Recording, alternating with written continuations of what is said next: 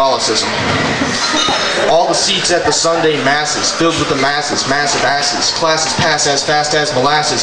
Ceremonial reading glasses. Read a little bit of Leviticus. All the kids are just a little too little for this. All the parents nod in agreement. I think I can vaguely see what he meant. It's too early in the morning glory to read another allegory story. The father reads a little bit farther, assuring the assured that they need not bother. When God, in verse 45, said that slaves are okay to buy, he meant that people, all from the start, each have slaves within their heart. Things that we have sold or bought, forced to pick our moral cotton. God calls us to set these free and free our hearts from slavery. And then as God goes on to explain the logistics of buying and selling slaves, well, the Bible's kind of like typos, and they didn't really get it quite right. In the back, I sit and I nod to the beats that are bumping on my iPod. My God, he's starting to pray, and over the music I can hear him say, Dear God, dear Lord, dear big muscular man with a beard and a sword, dear great all-seeing being, my way or the highway, Yahweh, the blue-balled anti-masturbator, the great all-loving faggot hater.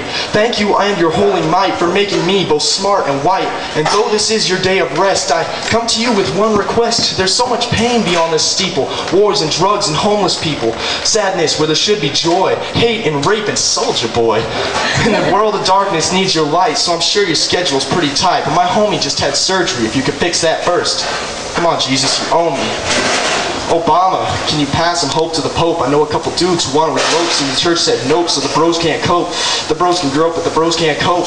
They've been in love and they've been addicted, but who said they couldn't? Benedicted. Because in the holy land of the Lord, he's the holy landlord, and dicks are evicted. But you can't be Benedict if you've been a dick under Benedict, but you can't be Benedict because there's only one Pope with only one dick. What? A dick on a Pope is sort of like a soap on a rope because it's pointless unless you're in prison. Throw up your Bibles, Christ is risen. Hallelujah, now it's raining men because the gender ratio is 1 to 10. Winos at the Eucharist station, transgender, substantiation. Jesus wasn't our Messiah. Get back, I'm a heretic and I'm on fire. It was Oedipus, those holy nights. Holy motherfucking Christ, and I'm a blasphemer. Post Katrina on a crusade, the crusades and blasphemer. It's too late, we're fucked, we don't need you.